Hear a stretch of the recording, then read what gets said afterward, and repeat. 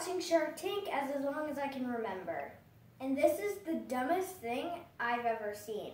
No phone is a useless product that you keep in your pocket and does nothing. Even the little mirror does nothing. You can't take selfies.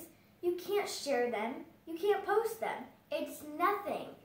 It's basically a rock in your hand. If you really don't want to use your phone when you're out with friends eating dinner, leave it home. Keep it in your car. It doesn't matter. It's a no phone. It says it in the name. They probably think it's dumb.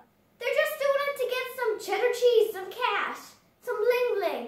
It doesn't matter. It's a no phone, people. It's a dumb idea. It's mind numbing. Mind numbing.